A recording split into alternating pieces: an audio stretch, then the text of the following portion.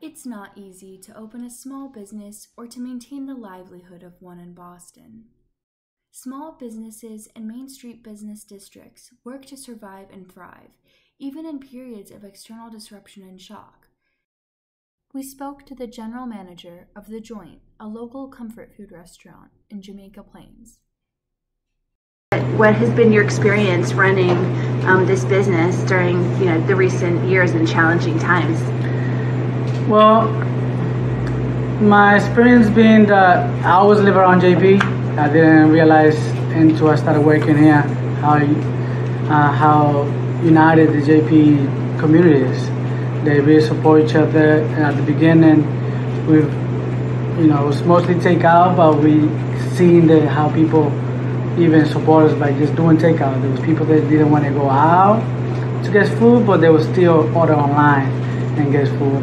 And mostly we survive because of those people. We survive because of the people from the community. These businesses need support, and that's why we are developing a predictive model that operates on both open and private data and is embedded in a user friendly application that will be known as Main Street Pulse.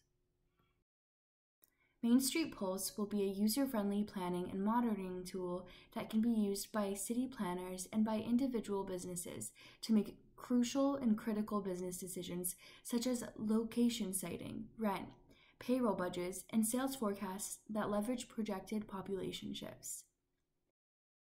Main Street Pulse will also allow businesses to request support from the city during periods of disruption or shock. In order to create a mechanism like Main Street Pulse, we first need to understand how to proactively identify businesses that are in distress so we can determine the right form of intervention and support from the city.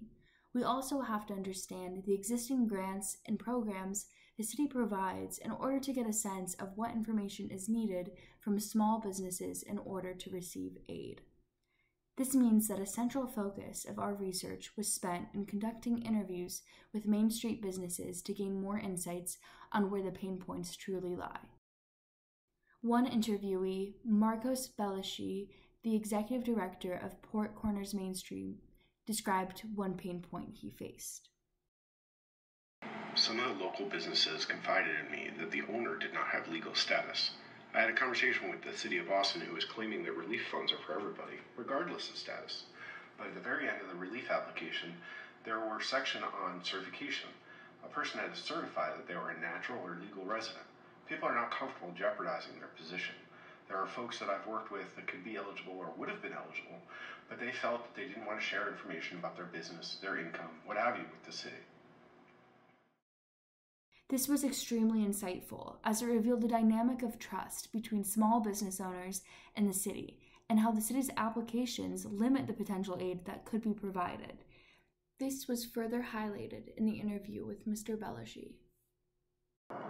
We have a couple of businesses in the district that are still cash only. What we learned during the pandemic was that folks were unprepared to document their expenses. That turned into a struggle to make a case for their eligibility for relief funds. Many of them depend on accountants to prepare their income taxes. So I think that there's a lot more that could be done just to support them in thinking about their finances besides I have money or I don't have money.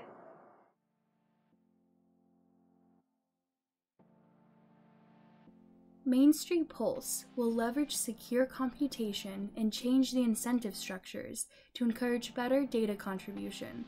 Ultimately, the city can make better data driven decisions to support the livelihood of small businesses. Communities can thrive and create a more stable economic impact throughout the city.